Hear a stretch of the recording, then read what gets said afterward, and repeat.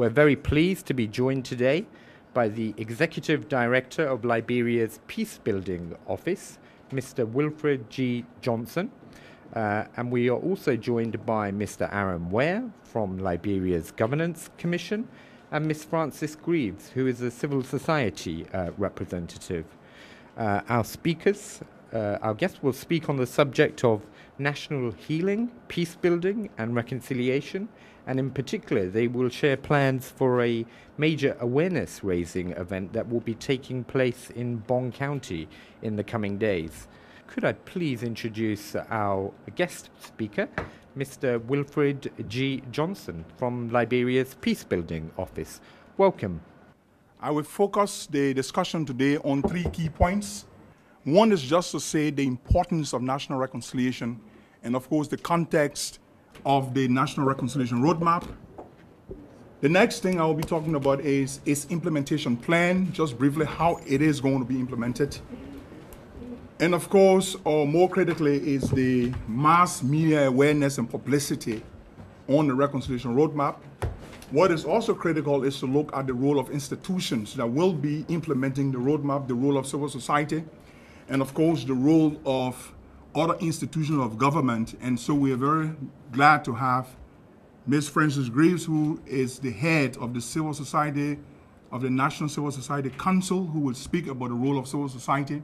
And of course, my colleague Aaron Weah will look from other angles of the other government institution. Peace building and reconciliation in this country remains very fundamental to the government of Liberia and of course all Liberians. If we go back to since 2006, a lot has been done in, tr in trying to accelerate the reconciliation process, but of course the peace building process in Liberia. This has evolved through several conflict, conflict mapping exercise, identifying root causes of conflicts, and of course, trying to infuse within key policy documents of the government the root causes of conflict in Liberia, and also infusing there in those documents priority intervention that will help address these root causes over time. In 2006, with support from the United Nations Mission in Liberia, an interagency workshop was held that identified at least eight root causes of conflict in Liberia. Over the last few years since then, we have had several policy related documents, including the poverty reduction strategy and now the agenda for transformation. We have had, of course, on the side of the UN, the UN Common Country Assessment of 2006, the UN UNDAF of 2007 and 2008, and of course, the Liberia Priority Plan that was submitted to the Peace Building Fund in New York that received critical, that received funding to help address critical peace building gaps in Liberia. All of these have been a way to really, really foster and enhance peace building and reconciliation. But in 2010, when Liberia was formally engaged with the United Nations Peace Building Commission, we thought that there was a need to be much more coherent and strategic in putting forward a reconciliation strategy for the country, such that we'll be dealing with all of the fragmentations in the reconciliation process, we'll be dealing with all of the, the, the lack of coordination and synergies within the, all the, the, the reconciliation process, and how various reconciliation programs and activities would all align together. Of course, more critically was to see how then the UN can have a consolidated approach under the One UN program for Liberia to help government achieve its reconciliation agenda. And so building on the statement of mutual commitments that was signed by the government of Liberia in 2010 with the United Nations Peacebuilding Commission and of course the Liberia Priority Plan, we now have on the reconciliation component the strategic roadmap for national healing, peace building, and reconciliation. And it is not a mistake to coin it, to name the document this way. It brings forth three key things. Healing. So in the roadmap, we have three thematic, we have three categories that spread along 12 thematic areas. And so I'm talking a little bit about the implementation. The roadmap then, in terms of healing, we have thematic areas that will that are coined to address what we call accounting for the past. And here we have issues of memorialization, we have issues of reparations, we have issues considering the diaspora and reconciliation in Liberia. But more critically, we have the process of atonement, psychosocial recovery, which is linked to the TRC report that deals with the, the issue of the Palava hut talks. And then we have another thematic area that says managing the present. There are issues around youth, there are issues around women, there are issues around political polarization. How do we forge social cohesion? And there are issues around providing people with persons with disability psychosocial report and all of, I mean, psychosocial recovery for those persons with disabilities. And then, of course, in terms of managing the present, we have, we, we have three key thematic areas that look at, at, the trans, at a transformative education system for the country. We look at how we then address the issue of identity and citizenship. Who is a Liberian? All of those questions can be answered. The National History Project that was launched by the Governance Commission a few months ago is part of this. And of course, the whole thing about constitutional and legal reforms become the third one on our, on our planning for the future. And hence, I've given you just in a snapshot what the roadmap covers in terms of now how will it be implemented. Of course, you may recall that the government of Liberia provided in its last budget some $5 million that, went, that was intended for national reconciliation. Of course, unfortunately, we did not have the document ready with the appropriate programs in programmatic languages for implementation. And so it was difficult to just go to the government or multi-year expenditure framework to access any funding from the $5 million for reconciliation programs because we were still developing. And due to the government budget shortfall, unfortunately, that $5 million also got lost. However, the government is adding, is bringing forth some funding for reconciliation in its current budget. That's on the side of the government. Also, critically, in terms of the implementation regarding funding for the different projects and activities, the United Nations, or through the Peace Building Fund, is really supporting that initiative. And so we have just concluded what we call the Liberia Priority Plan 2. And what it does is that it lists a number of key thematic areas which will be funded with funding from the United Nations in support, in support of the reconciliation roadmap. The role of the UN institutions, including all of the institutions, but maybe the signal out UNICEF, who's also providing direct support through the Peace Building Office for some of the intervention. And when I talk about the mass media publicity, UNICEF is providing the funding for that. And I want to note this is very critical. But UNICEF is also providing some funding for the youth, for the National Youth Service Program that is part of the reconciliation component. The United Nations Mission in Liberia have got the technical expertise that provide all of the technical support working with us in the conceptual, in conceptualizing and finally articulating in pro programmatic language the implementation of the roadmap. So on Civil Affairs, for instance, the rule of law sessions, the office of the DSRG, all become very critical to fostering the implementation of the roadmap. UNDP plays a key role and of course UN Women, UN Habitat, that are all recipient agencies and working with particular government institutions on implementing specific projects. For instance, the project on land alternative dispute resolution mechanisms. This project is being co-managed by UN Habitat and the Land Commission. And so that's how the arrangements, some of the arrangements are. Or UN Women will be managing funding but working with the, with the, the, the Ministry of Gender and Development to implement the women's uh, program, whereas UNICEF will be working with the Ministry of Youth and Sports on youth programs, just to give you some insights in terms of how the rollout, the implementation is. Very critical. The role of civil society and other government institutions, of course, my colleagues will then uh, provide some insights from their perspective. And now, the mass media publicity. This is very important to us because reconciliation is national. And hence, the means through which we can engage with all Liberians across the country, not only to understand the context of reconciliation, not only to understand the context of peace building and how we move ahead with implementation, but to galvanize the needed political consensus, national consensus with all actors across the country, and also galvanize their own support for the implementation is critical. I can assure you that between now to December, every Liberian household will be singing some reconciliation song. Reconciliation will be on the lips of all Liberians. And so we, have, we are employing all kinds, of, all kinds of means for this mass awareness. Shortly, you will start receiving on a weekly basis text messages to all of your phones saying something about reconciliation from the GSM companies. We will use different mediums through the country, and I want to very, very much appreciate and thank, or, and thank UNMIL or Public Information, or, and, and of course, for this sort of opportunity that's beginning a process with mass media awareness on the reconciliation roadmap. Because it is critical.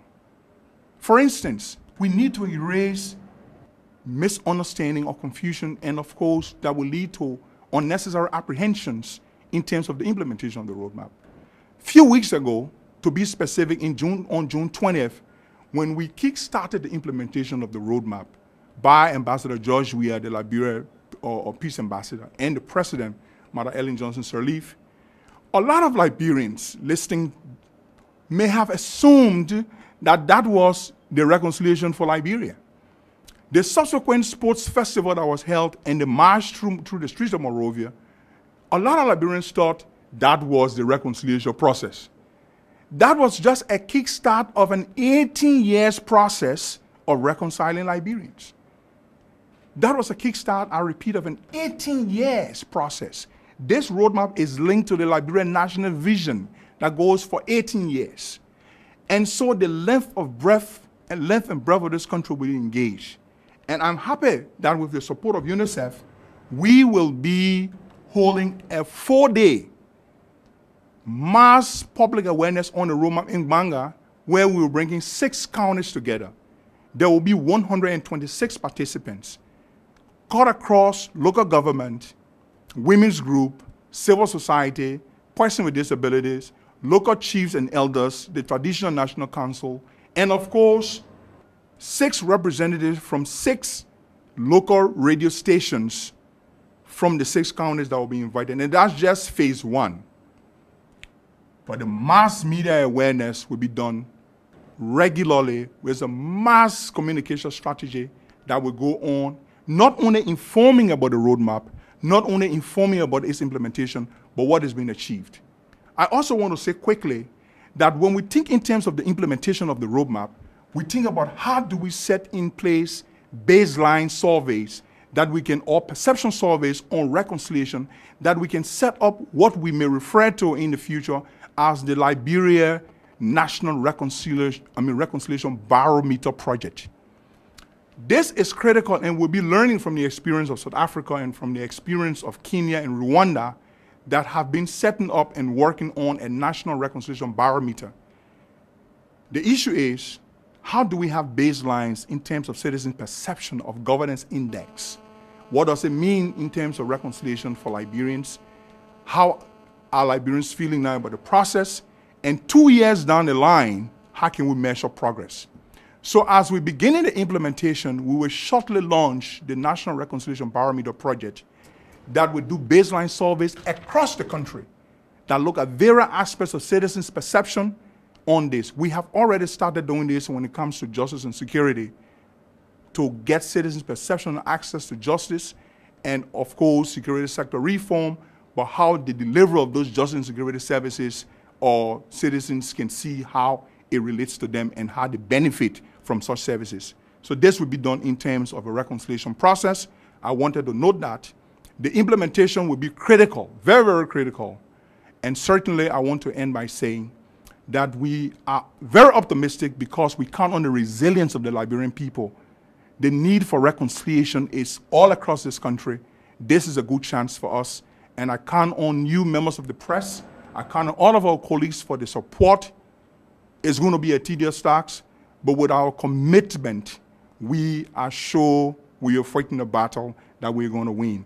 Liberians will be reconciled because we have got no options but to reconcile our country and move Liberia forward. I want to end on this note. so that we don't run out of time and give Frances to say something on the role of civil society, and of course my colleague Aaron, who also will talk from the perspective of the Governance Commission. The civil society, which is headed by the Civil Society Council, has been involved in the entire reconciliation roadmap from the very beginning. Um, we had about seven members of civil society who served as technicians throughout the crafting of the roadmap.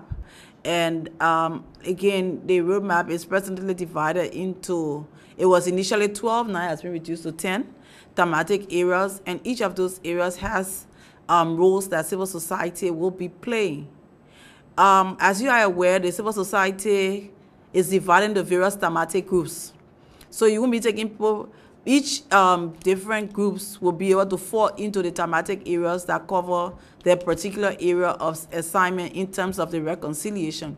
You have focused civil society organization who focuses strictly on reconciliation, peace building, and and and and and um, um, negotiation and other things. You also have civil society organization that focuses on health, education. So where those particular areas cross the cut the, the reconciliation process, these thematic groups will be consulted. But let me also hasten to add that we'll also be looking at civil society as people who have made gains in the area of focus. Because you see, the aspect of reconciliation in Liberia is very crucial to all of us. You don't want to uh, uh, encourage someone who has not made an impact in a community that they work in. Not that you want to isolate them, but to be able to have the kind of uh, um, impact into our community where this, the society will be more cohesive. You need people who already understand those concepts and be able to connect it to the five principles that work on these areas. So Civil Society Council, for that matter, will be working along with all these different groups to ensure that those that are being selected will be properly scrutinized and ensure that they can perform the tasks that are being assigned to them. For the mass publicity, I think it comes along with, with quite a number of opportunities. Whether I've given you the background, the different actors, Frances has given you the role of, of civil society in all of this. What platform does the mass publicity provide for all of us? There, there are a couple of opportunities, as I mentioned, that come along with this. One, there are a lot of people asking, how different is the roadmap from the TRC? Other people are asking, is this really going to work? There's a growing apathy among ordinary Liberians whether we're going to implement this roadmap or not. And then three, people want to know other things. So the, the, mass, the mass publicity and awareness is going to provide an opportunity to address some of these critical questions. Let's begin with a few. The difference between the TRC report and the roadmap. As far as we see it, the, the, the roadmap is a post-TRC instrument, is a post-TRC framework to facilitate reconciliation. The, the two documents does not contradict each other. Rather, what the roadmap does, the roadmap is more an instrument of restorative justice, if you like, than it, than it is with retributive justice. The TRC report was a function of both. The roadmap, using an opportunity where reconciliation is better, is aligning itself more with restorative justice because we thought that the TRC report, in as much as may have been a good document, has held back a lot of other important issues in the report only because of issues around restorative justice and uh, re retributive justice, which is to punish people in a Liberian conflict. And then two, when we were validating the roadmap, there were a lot of questions about, and you know, the commitment. Is this 12 years program going to be implemented? And these were genuine concerns, looking at our history of the conflict, looking at different attempts, and you know, to reconcile and how these attempts feel in every different terms. So this exercise, the mass publicity, is intended, is designed to re-energize, to give people hope. One of the reasons why the president appointed George Weah is George Weah is, is almost the single most figure in Liberia who is very appealing. He, he, he, he projects a personal magic. And I believe George Weah affiliation with all of this is to perhaps rally people's support. The confusion that comes out of the 20th through 22nd program borders more on an event of reconciliation rather than people seeing that this is just a kick-off to what should be an 18 years long program. And then another opportunity that I see come along with this mass publicity and awareness is an opportunity to to to to, to talk with ordinary Liberians to know how they can they can contribute to to strategy around reconciliation. Deep into Bong County, there are communities that have on their own with little OSA prompting that have organized creative memorial programs. The roadmap is not insensitive or the technical team is not insensitive to this community-led initiative. Going out, organizing this mass publicity is in fact an effective way of opening up to how community can not only buy in to the implementation of all of this, but to see how we can you know draw on lessons that have already been applied in some of these communities and how some of these lessons can be replicated across the 15 counties. So as far as we see it, the mass publicity is on the one hand going to address some burning issues and, and questions that are coming up af- after our several years of attempt of reconciliation and also an, an opportunity to clarify and you know what is rating opportunities to give people hope that even though this year august 18th we'll be celebrating a decade after the accra comprehensive peace agreement and there has been little done and, you know on reconciliation this technical team is going out to try to re-energize people to give them hope that we get in somewhere you know the TRC report have come up four years later. There's been little done. The reconciliation roadmap is there as an instrument trying to supplement, if you like, this whole process. So, so it's going to be a platform to leverage, and you know, in different ways. People have questions about reconciliation. People being different about reconciliation. People have core issues of reconciliation. It's going to be a dialogue. On the one hand, it's going to be an opp- it's going to be an opportunity to clarify. It's also going to be an opportunity to have people contribute to what could be a more overarching strategy. And you've been listening to the executive director of uh, Liberia's Peace Building o- Office, the uh, civil society representative Frances Greaves, and uh, Aaron Weah from Liberia's Governance Commission. Thank you to our guests and uh, have a good day. Goodbye.